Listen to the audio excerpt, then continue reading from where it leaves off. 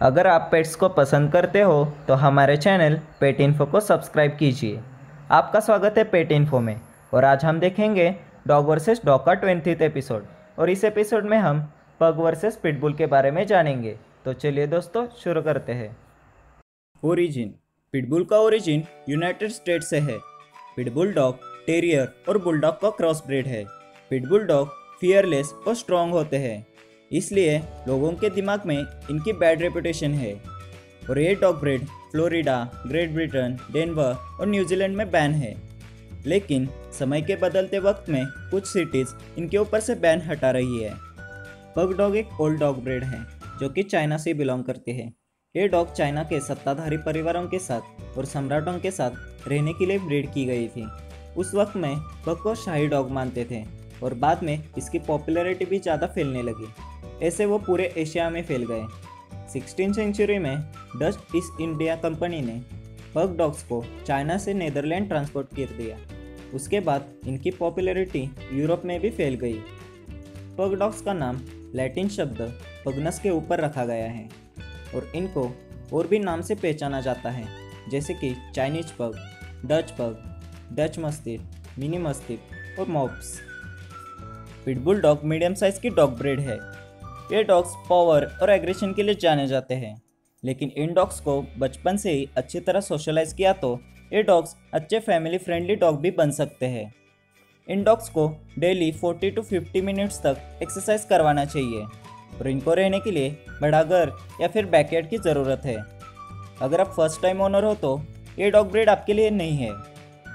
Pitbull को अपने मालिक के साथ रहना बहुत पसंद होता है और बहुत लगाव भी होता है।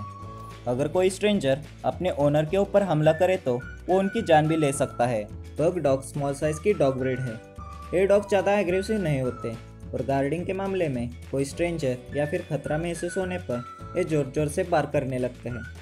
पग डॉग्स फ्रेंडली और लॉयल होते हैं। ये डॉग्स छोटे होने के कारण आप इनको छोटा घर या फिर अपार्टमेंट में आसानी से रख सकते हो। पग डॉग फ्रेंडली नेचर के होते हैं। इस वजह से ये dog breed first time owner के लिए अच्छी है। और ये डॉग्स छोटे बच्चों के साथ घुल मिल कर रहते हैं। पग डॉग्स को बाहर घूमना बहुत पसंद होता है। इस वजह से आप इनको डेली 20 मिनट्स तक एक्सरसाइज करवा सकते हो। Colour and shedding pitbull dog black black and tan bluish grey brown grey white reddish brown और फॉन कलर्स में पाए जाते हैं। पिटबुल का कोट शॉर्ट होता है। इसलिए इनको ग्रूमिंग करना और मेंटेन रखना आसान होता है। और इनका shedding season eight to ninth months में आता है। Pug dogs black fawn apricot और सिल्वर फॉन कलर्स में पाए जाते हैं। पग का कोट शॉर्ट होता है। इस वजह से इनको मेंटेन रखना और ग्रूमिंग करना आसान होता है। इनके मुँह पर ज़्यादा रिंकल्स होते हैं और इनकी पूछ कर्ड होती है। पग डॉग्स को ज़्यादा घर में या फिर नॉर्मल टेम्परेचर में रखना चाहिए। वरना इनको ज़्यादा ठंडक से या फिर ज़्यादा गर्मी से कोई बीमारी हो सकती है। पग का शेडिंग सीज़न सिक्स और सेवन्थ मंथ्स में आता है। मेंटेनेंस। पिटबुल का medical plus food plus grooming का खर्चा पर ईयर एवरेज 25,000 टू 30,000 तक आता है। पग डॉग का medical plus food plus grooming का खर्चा पर ईयर एवरेज 14,000 टू 20,000 तक होता है। हाइट। पिटबुल की एवरेज हाइट 18 टू 20 इंचेस होती है।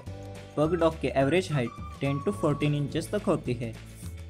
वेट, पिटबुल का एवरेज वेट 14 टू 30 के तक होता है। पग डॉग्स का एवरेज वेट 6 टू 9 के तक होता है। लीटर साइज़, पिटबुल की litter size average 5 to 10 puppies तक होती है। पग डॉग की litter size average 2 to 4 puppies तक होती है। लाइफ स्पैन पिटबुल का लाइफ स्पैन 8 टू 15 ईयर्स तक होता है। पग डॉग का लाइफ स्पैन 12 टू 15 ईयर्स तक होता है। प्राइस पिटबुल की एवरेज प्राइस 12,000 और उससे ज़्यादा भी हो सकती है। पग डॉग की प्राइस 8,000 से लेके 17,000 तक है। तो दोस्तों कैसा लगा आज के डॉग वर्सेस डॉग का ट्वेंटी एपिसोड अगर अच्छा लगा हो तो इस वीडियो को लाइक कीजिए और नीचे कमेंट करके बताइए कि आपने इसमें से फैमिली डॉग को चूज़ किया या गार्ड डॉग को। और हमारे चैनल पेट इन्फो को सब्सक्राइब ज़रूर कीजिए।